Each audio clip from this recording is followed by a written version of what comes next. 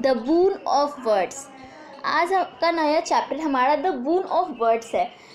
तो ये स्टोरी बहुत ही ज़्यादा इंटरेस्टिंग है। तो let's start can a curse ever be a blessing in डिस्क्यू यहाँ कर्स कर्स का मतलब होता है श्राप। क्या एक श्राप ब्लेसिंग इन डिस्क्यू हो सकता है? ये सब, इस चैप्टर का ये सवाल है। पर यहाँ पे ब्लेसिंग इन डिस्क्यू का क्या मतलब हुआ? ये एक ऐसा चीज़ है जहाँ पे आपके साथ ये होना था, वो चीज़ आपके साथ होने वाली थी बट वो पहले ही गलत तरीके से हो गई। जैसे मैं एक एग्ज़ाम्पल देती हूँ कि एक आदमी कैंसर से मर रहा था बट उसका एक्सीडेंट कार एक्सीडेंट में वो मारा गया। तो ब्लेसिंग इन का रियली मीनिंग यही है।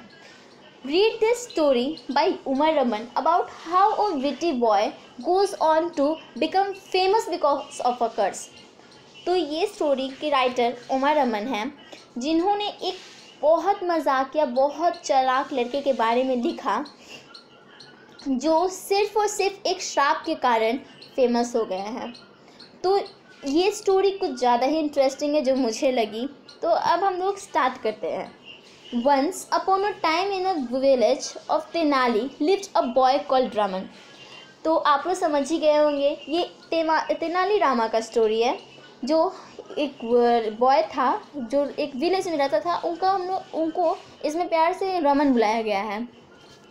Raman was very clever and good looking boy but he got on every one's nerves he was always playing pranks और making fun of people he was quite event and would even mock the elders of the village यहाँ पे वो जो तेनाली रामन थे, वो बहुत ज़्यादा, वो अच्छे दिखते थे, अच्छे दिखने वाले लड़के थे और बहुत ही ज़्यादा चलाक थे। उन्हें हर चीज़ का मज़ाक उड़ा था। इस कारण वो पूरे गाँव वाले उन्हें पसंद नहीं करते थे। तो यहाँ पे उनका ये उनका ये स्वभाव था कि वो हर लोग के साथ मज़ाक करते थे, प्रैंक करते थे, जिनके कारण लोग उस टाइम के पहले वाले लोग उन्हें मज़ाक करना बिल्कुल पसंद नहीं था, वो बहुत सीरियस रहते थे बट वहीं पे तेनालीरामा बहुत ही मज़ाक किया था।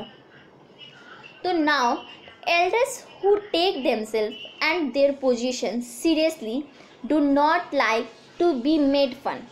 जैसा कि मैंने कहा कि उन्हें बिल्कुल मज़ाक करना तो बिल्कुल पसंद ही नहीं था। पहले के लोग बहुत ही ज़्यादा सीरियस हुआ करते थे to their works and everything they decided that something had to be done about Raman they caught hold of Raman's mother and warned her that her son would come to a sticky end if she did not take him in hand.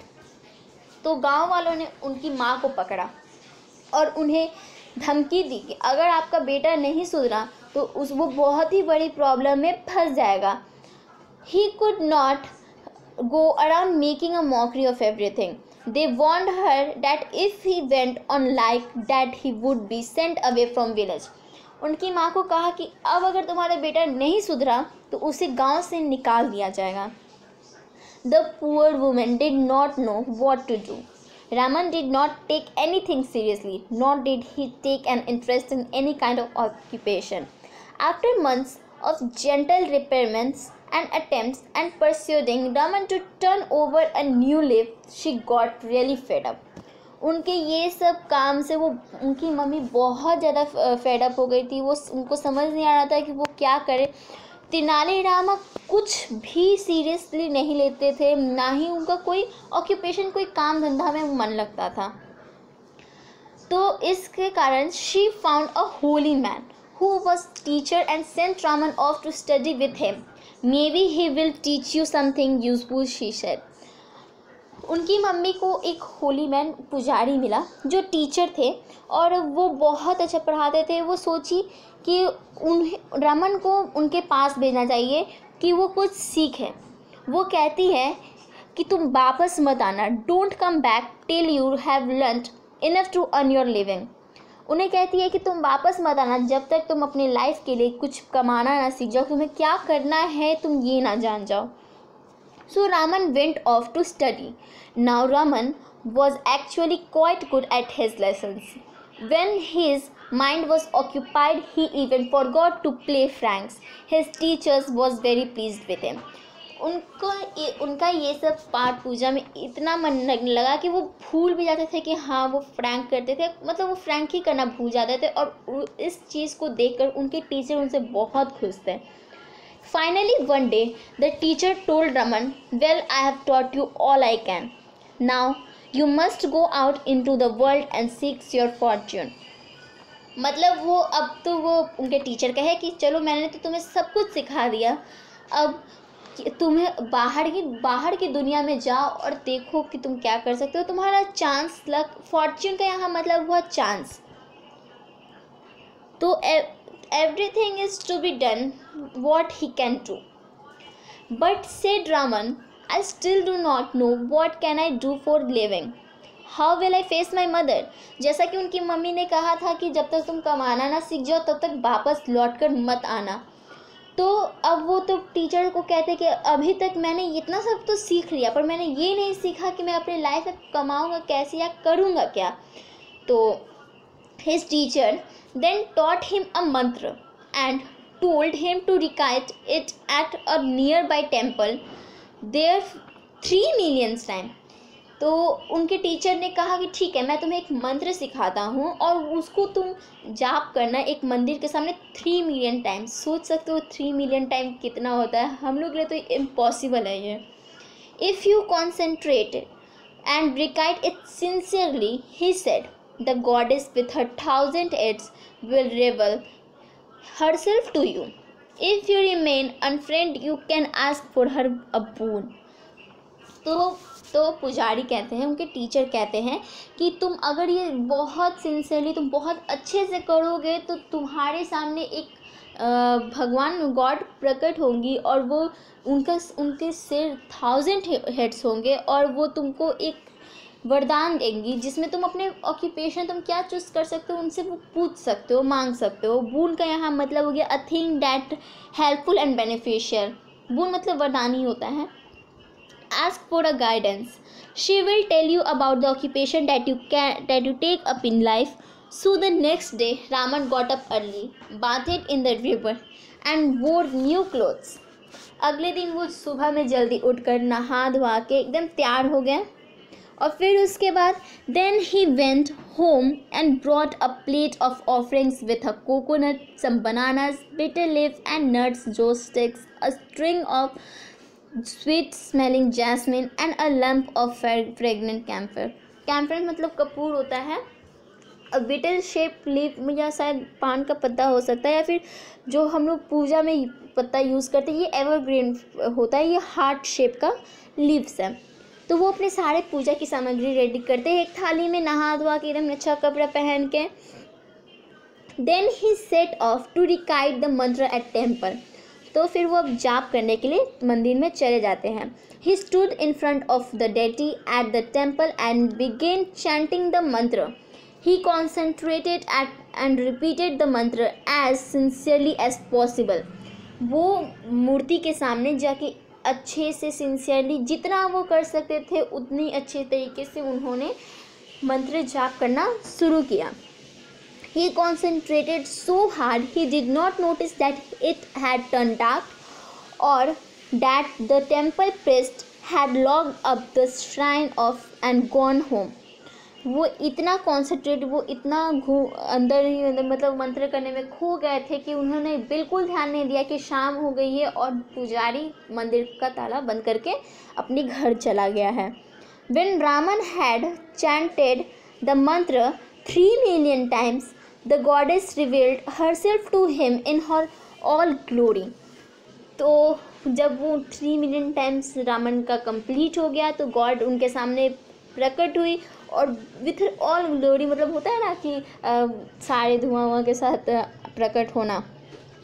Raman looked at her in awe but was quite unafraid he was amazed totally amazed and quite unafraid unafraid उन्हें डर नहीं लगता था कि हाँ ये God है या कुछ भी।